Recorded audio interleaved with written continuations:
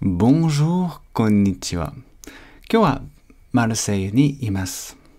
はい。よく見てくださいね。この美しい景色は夕方の、まあ、夜のマルセイユです。はい。そこは古い港と言います。Le Vieux Port。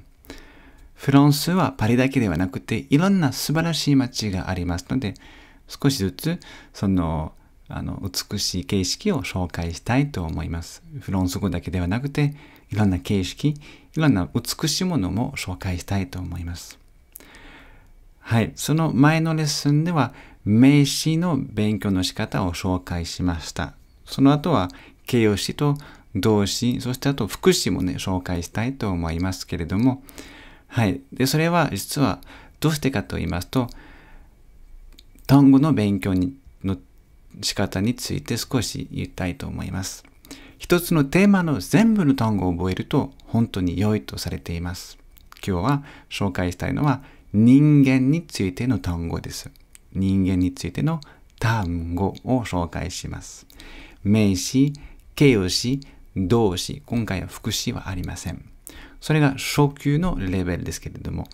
で、僕の生徒さんにはこれを使って、この単語を使って文章を紹介します。で、その文章について質問がありまして、それを読むこと、そして答えることによって習得ができるようになると思います。単語ではなくて、単語だけではなくて、やっぱり文章で覚えた方があのいいと思います。はい。早速、その単語の紹介したいと思います。はい。gens, des gens。今、漢詞はつかないけれども、漢詞を覚えるときは、名詞を覚えるときは、漢詞をつけてくださいね。今回は des gens。ちょっと変わっている言葉ですけれども、複数にしか使わない。des gens。まあ、英語の people に似てますが、des gens。いいですね。次は person。person は一人の人。だけれども、複数にも使えます。des personnes。des person それは英語と違って、英語では person、まあ、フランス語の発音にしますが、まあ、単数でしかしか使いませんが、フランス語では複数でも使えます。une personne, des personnes。ちなみに、person は女性名詞ですけれども、男性名詞にも使えます。ですので、je suis une personne。私は男性ですけれども、je suis une personne。いいですね。はい、続きまして、3つの人間について紹介したいと思います。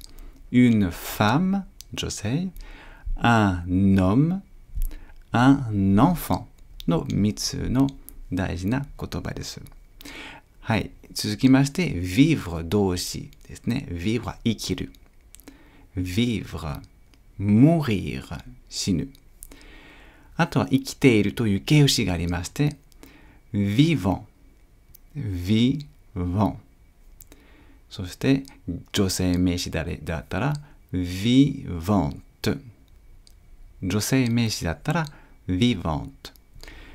後で形容詞の勉強の仕方を紹介したいと思いますけれども、il est vivant 彼は生きています。elle est vivante 彼女は生きています。Mort 死んだという形容詞 il est mort 彼は死んでいる例えばナポレオン est mort. Elle est morte. 彼女は死んでいる例えばエディット・ピアフ est morte. エディット・ピアフは死んでいる、まあ、亡くなっているはいで最後の形容詞ね生まれたという形容詞 je suis né en France フランスで生まれました Je suis né en France はい。で、その単語をわかることによって人間について話をすることができます。例えば、Piaf est né à Paris. Piaf はパリで生まれました。Piaf est morte. Piaf は亡くなりました。Je vis 私は生きています。Je ne suis pas mort. 私はなくなっていません。という文がわかります。言えます。まあ簡単に言いますと、人について話をすることができます。今日はそれで終わりにしたいと思います。僕の生徒さんにあの例の文を教えますけれども、もし興味がありましたら、ぜひ私のウェブサイトを見て、で登録をしてみてください。それでは、au revoir!